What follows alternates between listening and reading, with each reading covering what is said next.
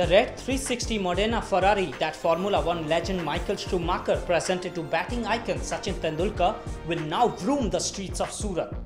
According to reports, Jayesh Desai, chairman of Rajhans Group, has reportedly bought the car for a whopping 1.5 crore rupees.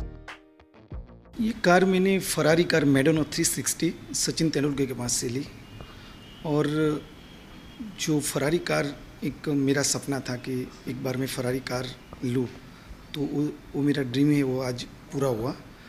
और फिर जो आप experience चलाने का experience के बारे में जो पूछते हैं तो जो दूसरी कार चलाने में और एक कार चलाने में एक अलग फीलिंग्स होते हैं।